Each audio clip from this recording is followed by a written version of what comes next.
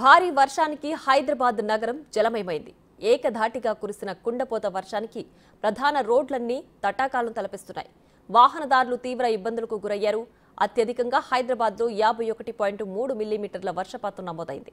కుత్బుల్లాపూర్లో నలభై నాలుగు పాయింట్ మూడు మిల్లీమీటర్లు ఖైరతాబాద్లో నలభై రెండు పాయింట్ ఎనిమిది మిల్లీమీటర్లు బాలానగర్లో నలభై రెండు పాయింట్ ఐదు మిల్లీమీటర్లు శేర్లింగంపల్లిలో నలభై పాయింట్ ఎనిమిది మల్కాజ్గిరిలో నలభై పాయింట్ ఐదు అల్వాల్లో ముప్పై ఎనిమిది కూకట్పల్లిలో ముప్పై ఐదు పాయింట్ ఎనిమిది మిల్లీమీటర్లు సికింద్రాబాద్లో ముప్పై నాలుగు పాయింట్ ఐదు మిల్లీమీటర్ల వర్షపాతం నమోదైంది.